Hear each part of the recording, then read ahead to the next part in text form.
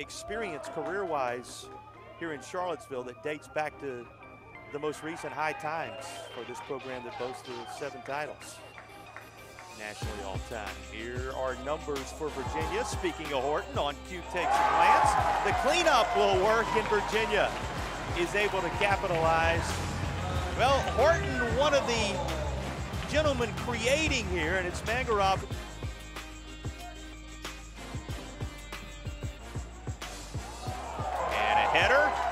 to double the Virginia advantage. Not a single shot up through the first 85 minutes for the other day. Virginia has made use of their most recent shots in this one, and how about the look from Afonso?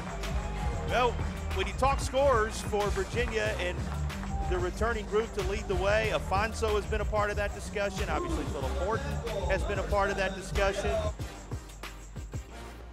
as well.